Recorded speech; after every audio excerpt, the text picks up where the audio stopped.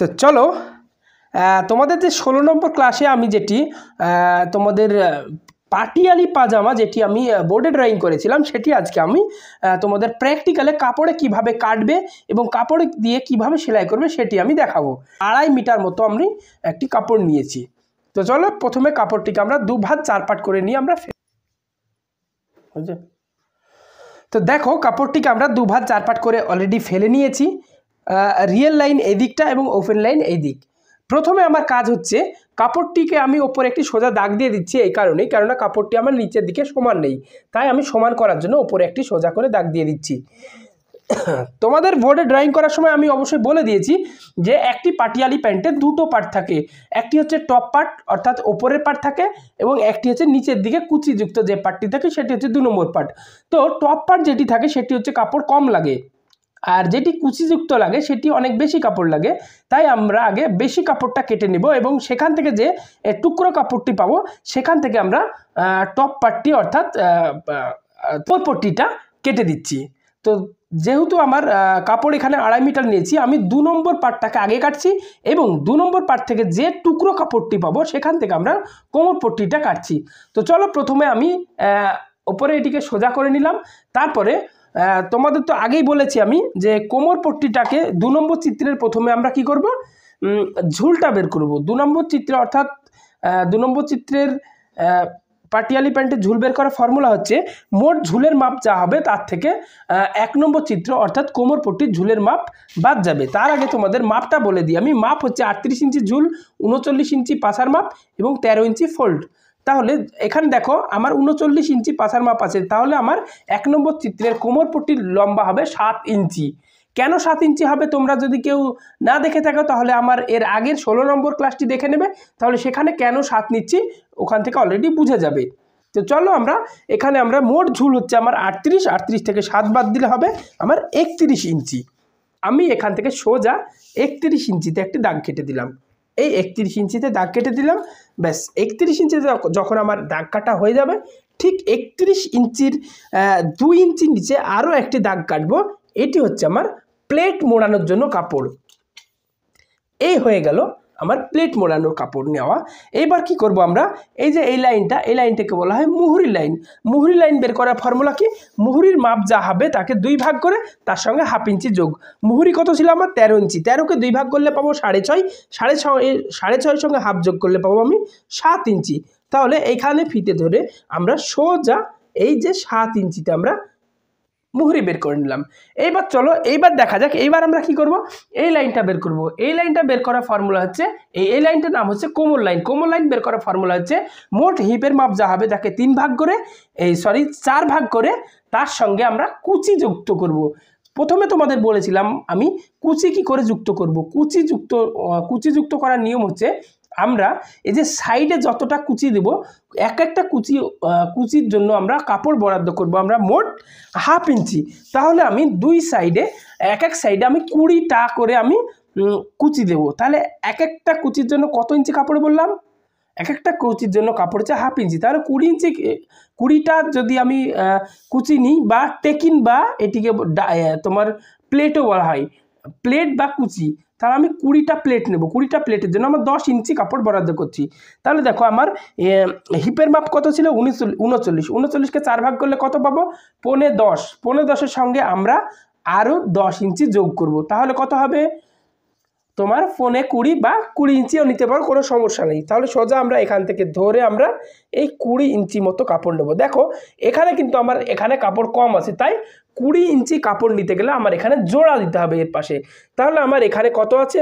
যতটা আছে পুরো নিয়ে নিচ্ছি। তারপর আমরা ওখানে কাপড় ধরে কি করে কুড়ি নিচ্ছি দেখে নাও। ব্যাস এই হয়ে গেল। আমরা কাপড় জোড়া দেওয়ার পরই আমরা কি করব? কুচিটা বের করব। করে তোমরা কাপড়টিকে এখানে জোড়া দেবে। তারপরে কাপড় জোড়া দেওয়ার পরেই হাইলাইনটা বের করবে। কেননা এখনই যদি তোমরা হাইলাইন বের করো, তাহলে তোমরা আর হাইলাইন বের করার পর আর এপাশে কোনো কাপড় জোড়া দেওয়া যাবে না। তাহলে আমি ঝুল নেওয়ার পর আমরা মুহুরি লাইনটা বের করে নেব। মুহুরি লাইন বের করার পর আমরা এই যে তোমার মোট যেটা দু নম্বর পাটের ঝুল হবে, তার আমরা ফিফটি পার্সেন্ট একটি দাগ কেটে দেবো। এই দুটোর মিডিলে দিয়ে আমরা সোজা করে এই আমরা দাগ কেটে দেবো। কেননা দেখো আমরা হাই এখানে বের করলাম না কেন? আমরা এখানে কাপড় জোড়া দেবো, তারপরেই আমরা হাই বের করব। এই পর্যন্ত আমরা কেটে দিই এবং এখানে যে অংশটি এখানে বেঁচে যাচ্ছে টুকরো কাপড়টি, এই টুকরো কাপড়টিকে আমরা এখানে জোড়া দেব।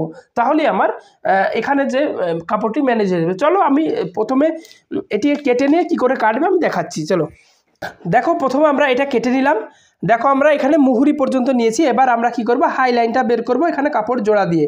এবার দেখো আমরা এটা কেটে নিলাম, এবার কি করব আমরা? এইখানে কাপড়টি আমাকে জোড়া দিতে হবে। কারণ আমি এখানে কুড়িটা কুচি নিয়েছি, কুড়িটা কুচির জন্য আমাকে দশ ইঞ্চি কাপড় এক্সট্রা এখানে লাগাতে হচ্ছে। এই দেখো এখানে ধরবে, এইটা ধরার পর তোমরা এখানে সেলাইয়ের জন্য একটু টেনে দেবে। এইবার তোমরা কি করবে? এইখান থেকে দেখো, আমি কি বলেছিলাম? আমার হিপের মাপ কত? উনচল্লিশ। উনচল্লিশকে চার ভাগ করলে কত পাচ্ছি? পনে দশ। পনেরো দশের সঙ্গে আমরা কুড়িটা কুচির জন্য দশ ইঞ্চি কাপড় নিয়েছি। তাহলে এখান থেকে এটা হবে আমার পনে কুড়ি। এখান থেকে সোজা করে আমরা পনে কুড়িতে আমরা দাগ কেটে দিচ্ছি, দেখো। যদি তোমরা আরও বেশি করে কুচি দিতে চাও, তাহলে আরও বেশি দিয়ে দেবে, কোনো সমস্যা নেই। আমি কুড়িটা বলেছিলাম, আমি এখানে আরও চারটি চারটে টেকিন বা কুচি বাড়িয়ে দিচ্ছি। চব্বিশ ইঞ্চি। তাহলে চব্বিশ ইঞ্চির জন্য তাহলে আমাকে বারো ইঞ্চি নিতে হবে। তোমরা যত খুশি তোমার এখান থেকে এই পর্যন্ত তোমরা দিয়ে দিতে পারো। তাহলে দেখো আমরা সোজা করে আমরা বারো আর দশে বাইশ ইঞ্চি, এই বাইশ ইঞ্চি নিয়ে নিলাম। কি করব এবার আমরা? এই যে সোজা বাইশ ইঞ্চিতে আমরা নিয়ে একটা সোজা দাগ কেটে দেবো আমি এখানে। এইখানে আমি দেব। ঠিক আছে? তো চলো এইবার এখান দিয়েও একটু সোজা দাগ কেটে নেবে না হলে আমার হাই লাইনটা পুরো বের করতে পারবে না। দেখো এখান থেকে দেখো আমি কাপড়টি জোড়া দিয়ে দিলাম। ঠিক আছে? এবার এইখান থেকে আমরা হাইটা বের করছি। কি করে হাই বের করব? হাই বের করার ফর্মুলা হচ্ছে হিপকে তোমরা তিন ভাগ করে তার সঙ্গে এক ইঞ্চি যোগ করো এবং এক ইঞ্চি যোগ করার পর তোমরা যে কোমর পট্টিতে ঝুলটে ছিল সেটি মাইনাস করে দাও। কেন মাইনাস করব? কেননা কোমর পট্টিটি আমার এর ওপরে জোড়া জোড়া হয়ে যাবে। তাই আমি হাইয়ের সঙ্গে এখানে লাগাবো না। এটি যখন আমি তোমাদের সেলাই করব তখন এটি বুঝিয়ে দেবো কি করে হচ্ছে ওটা। এইবার চলো হাই বের করার নিয়ম বা ফর্মুলা তোমাদের কি বললাম? টোটাল হিপের মাপ যা হবে তাকে তিন ভাগ করো, তার সঙ্গে এক যোগ করো এবং মোট যেটা পাবে তিন ভাগ করে এক যোগ করে তার থেকে তোমরা এক নম্বর চিত্র অর্থাৎ কোমরপট্টির ঝুলটি বাদ করে দাও। কোমরপট্টির ঝুল কত ছিল আমার? সাত ইঞ্চি। তাহলে আমার এই ফর্মুলায় ফেললে কত হবে? উনচল্লিশ ইঞ্চি হিপ উনচল্লিশকে তিন ভাগ করলে কত পাবো? তিন তেরো উনচল্লিশ। তেরো, তেরোর সঙ্গে এক যোগ। চোদ্দ চোদ্দ থেকে আমরা সাত বাদ দিলে কত থাকবে? সাত। তাহলে আমার এইখান থেকে এটি সোজা করে সাতে দাগ কাটবে। এই যে সাত আমরা নিয়ে নিলাম। ব্যাস, হয়ে গেল। সাত থেকে কি করব? এইবার আমরা দেখো, আমরা যে মিডিল করেছিলাম, এইখান থেকে সোজা আমরা ওই সাতে আমরা টেনে দেব। ব্যাস। এইবার দেখো, আমরা ঠিক এইটা দিয়ে কাছি লাগে এটা দিয়ে কেটে আমরা বের করে নিচ্ছি। তাহলে আমার এটি নিচের অর্থাৎ দু নম্বর চিত্রটি কাটিং কমপ্লিট হয়ে যাবে। তো চলো আমরা কেটে দিই।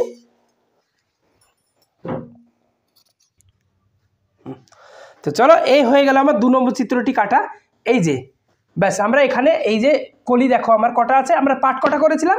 দু ভাত চার পাট তাহলে আমার চারটি পাট আছে, এক, দুই, তিন, চার, তাহলে আমার নিশ্চয়ই কলিও চারটে লাগবে। দেখো আমার, এই যে চারটে করে নিচ্ছি এক, দুই, তিন আর একে চার। চারটে পাটে আমরা চারটে জোড়া দিয়ে দেবো, ঠিক হয়ে যাবে। চলো, এবার আমরা দেখে নিই, আমরা এক নম্বর চিত্রটি কি করে এই টুকরো কাপড়টা দিয়ে কাটবো। দেখো আমার এই টুকরো কাপড়টি বেঁচেছে, এটি দিয়েই আমরা কি করব? কোমর পট্টিটি বের করব। চলো, কোমর পট্টিটি বের করে নিই আমরা। তো কোমর পট্টি বের করার জন্য আমি কি ফর্মুলা বলেছিলাম? এক ভাঁজ দু পাট। ঠিক আছে, আমরা এক ভাঁজ দু পাট করে নিচ্ছি, বা কাপড় শর্ট থাকলে তোমরা দু ভাঁজ চার পাট করেও নিতে পারো, কোনো সমস্যা নেই। তো চলো, কীভাবে বের করবে আমি দেখাচ্ছি। আমাদের এক নম্বর চিত্র। পাটিয়ালি প্যান্টের এক নম্বর চিত্র কেটে দেখাই। অলরেডি আমার দু নম্বর চিত্র কেটে নিয়েছি। দেখো, আমি প্রথমে বলেছি তোমাদের এক ভাঁজ দু পাট করে নিতে। দেখো, আমার দুটো পাট আছে। তাই এটি আমার টুকরো কাপড় দুটো হয়ে গেছে। তাই আমার এই যে এইটা সোজা দেখছ না, এখান দিয়ে তোমরা একটি সোজা সেলাই করে একটি করে নেবে। একটি করে নেওয়ার পর এক ভাঁজ করে দেবে দু পাট হয়ে যাবে।